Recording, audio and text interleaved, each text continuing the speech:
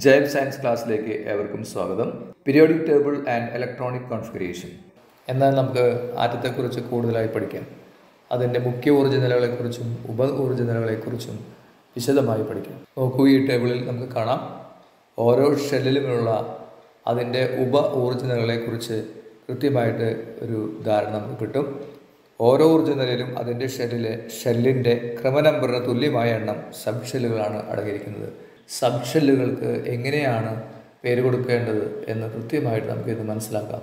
ഒന്നാമത്തെ മുഖ്യ ഊർജ നിലയിലെ എസ് സബ് ഷെല്ലിനെ വൺ എസ് എന്നും രണ്ടാമത്തെ മുഖ്യ ഊർജ നിലയിലെ എസ് സബ് ഷെല്ലിനെ ടു എസ് എന്നും അതിലെ തന്നെ പി സബ് ഷെല്ലിനെ ടു പി എന്നും അടയാളപ്പെടുത്താം. നമുക്ക് ഈ ടേബിൾ ഒന്ന് പൂരിപ്പിക്കാം.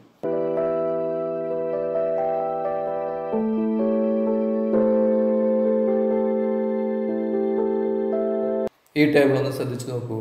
ഓരോ സബ് ഷെല്ലിലും കൊള്ളുന്ന പരമാവധി ഇലക്ട്രോണുകളുടെ എണ്ണത്തെ നമുക്ക് കൃത്യമായിട്ട് മനസ്സിലാക്കാം. എസിൽ രണ്ട് ഇലക്ട്രോൺ പിയിൽ ആറ് ഇലക്ട്രോൺ ഡിയിൽ പത്ത് ഇലക്ട്രോൺ എഫിൽ പതിനാല് ഇലക്ട്രോൺ ഊർജം കുറഞ്ഞ സബ് ഷെല്ലിലാണ് ആദ്യം ഇലക്ട്രോൺ എന്ന് പറയുന്നത്. നോക്കുക. One S then two S then two P then three S then three P then four S then three D and so on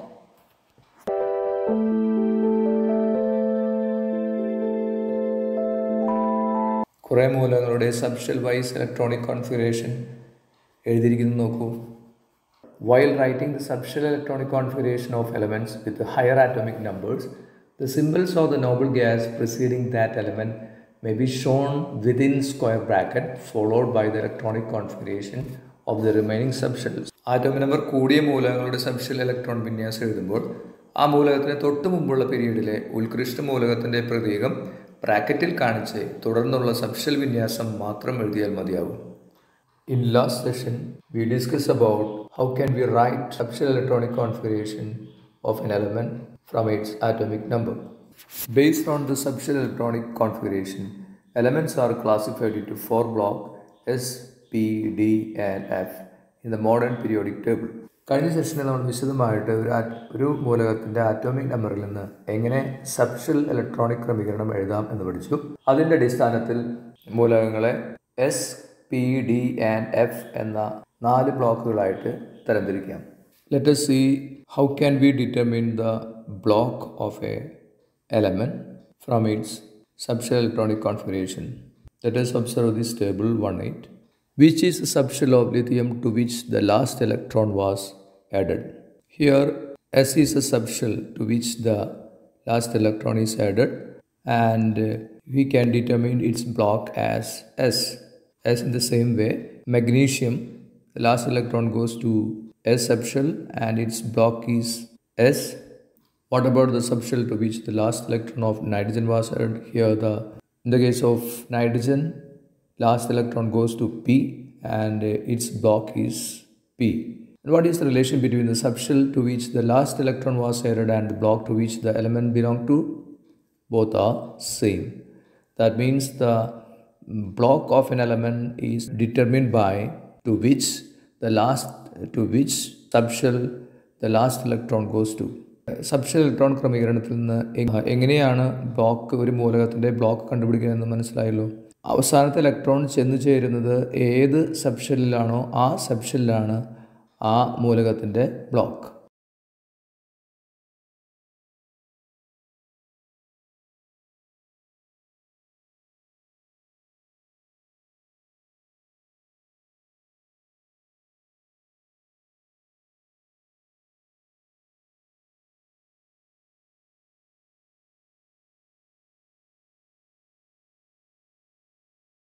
ഇനിയൊരു മൂലകത്തിന്റെ പിരീഡും ഗ്രൂപ്പും കണ്ടെത്തുന്നത് എങ്ങനെയാണെന്ന് നോക്കാം.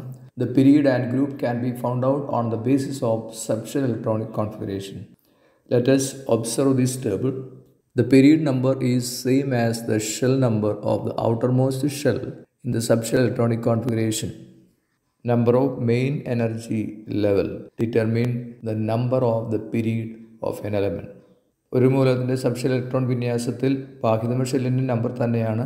അതായത് അതിലുള്ള മുഖ്യ ഊർജ നിലകളുടെ എണ്ണത്തെയാണ് അതിന്റെ പിരീഡ് എന്ന് പറയുന്നത്. എസിലെയും പിയിലെയും ഡിയിലെയും എഫിലെയും ബ്ലോക്കുകളിലെ മൂലകങ്ങളുടെ പിരീഡ് നിർണയിക്കുന്നത് ഒരേ രീതി തന്നെയാണ് അതായത് മുഖ്യ ഊർജ നിലകളുടെ എണ്ണം. എന്നാൽ ഗ്രൂപ്പ് നമ്പർ നിശ്ചയിക്കുന്നത് വ്യത്യസ്ത രീതിയിലാണ്. ഓരോ ബ്ലോക്കിലെയും മൂലകങ്ങളുടെ ഗ്രൂപ്പ് നമ്പർ നിശ്ചയിക്കുന്നത് വ്യത്യസ്ത രീതിയിലാണ്. Let us discuss about the various method to determine the group number of different group number of elements of different block let us see how to find the group number of S block element and their characteristics. ഈ table ഒന്ന് പരിശോധിക്കാം. ഇതിൽ നിന്ന് നമുക്ക് മനസ്സിലാക്കാം. Number of electron present in the last subshell determine the group number of S block element അതായത് അവസാന S സെപ്ഷനിലെ ഇലക്ട്രോണുകളുടെ എണ്ണ എണ്ണമാണ് അതിന്റെ ഗ്രൂപ്പ് നമ്പർ നിർണയിക്കുന്നത്. Let's try to complete this table from this we can observe that the first group element lose one electron when they the part part in chemical reaction and their state is plus 1 and in the, se- in the case of second group it loses two electron and become plus 2 oxidation state. ഒന്നാമത്തെ ഗ്രൂപ്പിലെ ഒന്നാമത്തെ ഗ്രൂപ്പിലെ മൂലകങ്ങൾ രാസപ്രവർത്ത രാസപ്രവർത്തനത്തിൽ ഏർപ്പെടുമ്പോൾ ഒരു electron വിട്ടുകൊടുത്ത് പ്ലസ് വൺ ഓക്സിഡേഷൻ സ്റ്റേറ്റും അതുപോലെ രണ്ടാമത്തെ ഗ്രൂപ്പിലെ മൂലകങ്ങൾ രാസപ്രവർത്ത രാസപ്രവർത്തനത്തിൽ ഏർപ്പെടുമ്പോൾ രണ്ട് ഇലക്ട്രോൺ വിട്ടുകൊടുത്ത് പ്ലസ് ടു ഓക്സിജനാവസ്ഥയും സ്വീകരിക്കുന്നു. What are the characteristics of S block element more metallic character less ionisation energy less electronegativity loss of electron in chemical reaction first group element lose one electron and second group element lose two electron The compounds are mostly ionic, oxides and hydroxides are basic in nature. Let us see how to find the group number of p block elements and their characteristics. P block മൂല മൂലകങ്ങളുടെ group number എങ്ങനെയാണ് കണ്ടെത്തേണ്ടതെന്നും അതിൻ്റെ സവിശേഷതകൾ എന്തൊക്കെയാണെന്ന് നമുക്ക് മനസ്സിലാക്കാം let us check the subshell electronic configuration of some P block element which are which are the groups included in the p block 13 14 15 16 17 and 18 in which subshell did the filling of the last electron takes place in the table 112 p subtree from the table 113 we can understand that how can we determine the group number of p block element we just added 12 to the number of electron in the last p subshell ഈ ടേബിളിൽ നമുക്ക് കൃത്യമായിട്ട് മനസ്സിലാക്കാം അവസാനത്തെ electron ചെന്നു ചേരുന്ന P സബ്ഷെല്ലിലെ ഇലക്ട്രോണുകളുടെ എണ്ണത്തിനോടുകൂടി പന്ത്രണ്ട് കൂട്ടിയാൽ ഗ്രൂപ്പ് നമ്പർ കിട്ടും ഈ പി ബ്ലോക്ക് മൂലകങ്ങളുടെ ചില സവിശേഷതകൾ പരിശോധിച്ച് നോക്കാം സാധാരണ താപനിലയിൽ ഗരം ദ്രാവകം വാതകം എന്നീ അവസ്ഥകളിലുള്ള മൂലകങ്ങളും ഇതിൽ ഉൾപ്പെടും. Elements in the solid liquid and gaseous state at room temperature are also included in this block അപേ P block മൂലകങ്ങൾക്ക് എസ് മൂലകങ്ങളെ അപേക്ഷിച്ച് കൂടുതൽ അയണൈസേഷൻ എനർജി ഉണ്ടായിരിക്കും. P block element usually show higher ionisation energy than thus block element The element having the highest electronegativity is in the p block. Find its name and position. Let us complete the table. 114. Let us check how to answer the following questions. താഴെ തന്നിരിക്കുന്ന ചോദ്യങ്ങളുടെ ഉത്തരം കണ്ടുപിടിക്കാൻ ശ്രമിക്കാം here we already know that the definitions of valency valency is the number of electron gain or loss to complete their octet in the outermost shell. Here is a table in which we can see that different element and its atomic number, subshell electronic configuration, group number, period number. How to see the group number of p block elements? For p block element, we can calculate it.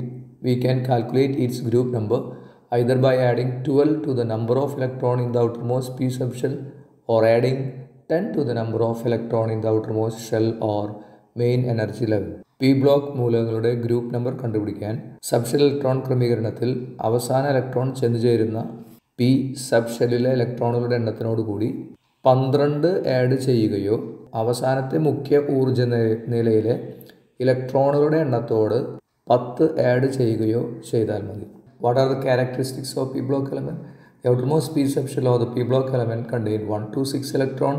Elements showing positive and negative oxidation state are the members of this block. There are metals, non-metals and metalloids in this block. Elements in the solid, liquid and gaseous state are present in the p block. From this figure we can try to answer these questions.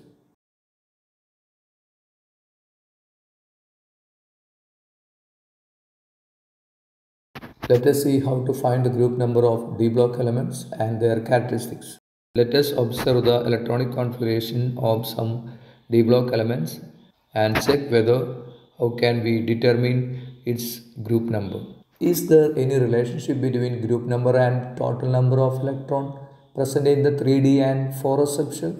3ഡിയിലെയും ഫോറസിലെയും ഇലക്ട്രോണുകളുടെ എണ്ണവും group നമ്പറുമായി എന്തെങ്കിലും ബന്ധമുണ്ടോ എന്ന് പരിശോധിക്കുക ഇതിൽ നിന്ന് ഫോറസിലെയും three ഡിയിലെയും ഇലക്ട്രോണുകളുടെ എണ്ണത്തിന്റെ തുകയാണ് അതിന്റെ ഗ്രൂപ്പ് നമ്പർ നിശ്ചയിക്കുന്നതെന്ന് നമുക്ക് മനസ്സിലാക്കാം അതായത് ഡി ബ്ലോക്ക് മൂലകങ്ങളുടെ ഗ്രൂപ്പ് നമ്പർ കണ്ടെത്താൻ അവയുടെ ലാസ്റ്റ് രണ്ട് സബ്ഷെല്ലുകളുടെ രണ്ട് സബ്ഷെല്ലിലെ ഇലക്ട്രോണുകളുടെ തുക കണ്ടെത്തിയാൽ മതി from this we can conclude that to determine the group number of D block elements we add electrons in the last two subshell that means S and D. Let us check oxidation state of D block element. Here Fe is the uh, one of the D block element. Let us check its oxidation state in different compound. ഇവിടെ കൊടുത്തിരിക്കുന്ന കാൽക്കുലേഷനുകളിൽ നിന്നും ഒരു സംയുക്തത്തിലെ മൂലകത്തിന്റെ ഓക്സിജനാവസ്ഥ എങ്ങനെയാണ് കണ്ടെത്തുക എന്ന് മനസ്സിലാക്കാം.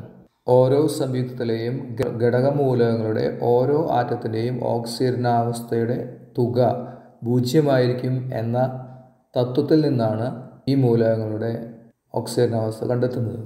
Let's try to complete this table we can observe that M N have different oxidation state in different compounds and we also write its subshell electronic configuration. Here we can observe the subshell electronic configuration of manganese and uh, when manganese have plus 2 oxidation state plus 2 oxidation state it loses 2 electron from the outermost shell that means from 4s manganese have plus 4 oxidation, oxidation state in MnO2 so it loses 4 electron from the last 2 from 4s and 2 from 3d let us observe its subshell electronic configuration of manganese ions why the transition or d block element show variable oxidation state എന്തുകൊണ്ടാണ് D block മൂലകങ്ങൾ വ്യത്യസ്ത ഓക്സിജനാവസ്ഥ കാണിക്കുന്നത് In the case of transition element, the difference in energy between the outermost S subshell and the penultimate D subshell is very small. Hence, under suitable condition, the electron in the D subshell also take part in chemical reaction. That is why they show different oxidation state. സംക്രമണ മൂലങ്ങളുടെ ബാഹ്യതമ ഷെല്ലിലെ S sub ഷെല്ലിലെയും തൊട്ടടുത്ത ആന്തരിക ഷെല്ലിലെ D sub ഷെല്ലിന്റെയും ഊർജങ്ങൾ തമ്മിൽ വലിയ വ്യത്യാസമില്ലാത്തതിനാലാണ് അനുയോജ്യമായ സാഹചര്യത്തിൽ ഡി സബ് ഷെല്ലുകളിലെ ഇലക്ട്രോണുകൾ കൂടി രാസപ്രവർത്തനത്തിൽ പങ്കെടുക്കും അതുകൊണ്ടാണ് സംക്രമണ മൂലകങ്ങൾ വ്യത്യസ്ത ഓക്സിജനാവസ്ഥ കാണിക്കുന്നത് most of the coloured salt are compounds or transition elements the colour is due to the presence or transition metal ion present in these compound സംക്രമണ മൂലകങ്ങളുടെ വ്യത്യസ്ത സംയുക്തങ്ങളുടെ ജലീയ ലായനിയിലുള്ള നിറങ്ങളാണ് ഈ ടെസ്റ്റ് ട്യൂബിൽ കാണുന്നത് F block elements lanthanides and actinide. Let check check check some characteristics of F block elements. The last electron in these elements are filled up in the anti-penultimate shell. The elements in the first row are called lanthanides and those in the second row are called actinide. These elements belong to the sixth and seventh period respectively. On examining the subshell electronic configuration, you can find that the last electron are filled up in the F subshell. What are the characteristics of F block elements? Like the D block element, most of these show variable oxidation state. D block മൂലങ്ങളെ പോലെ തന്നെ വ്യത്യസ്ത oxygen അവസ്ഥ കാണിക്കുന്നു.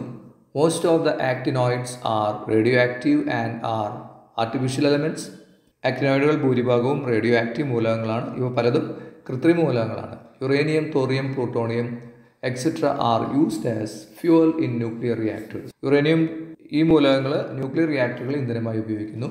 Many of them are used as catalyst in petroleum industry ഇവയിൽ പലതും ഉൽപ്രേരങ്ങളായി petroleum വ്യവസായത്തിൽ ഉപയോഗിക്കുന്നു. Let us try to answer the following questions.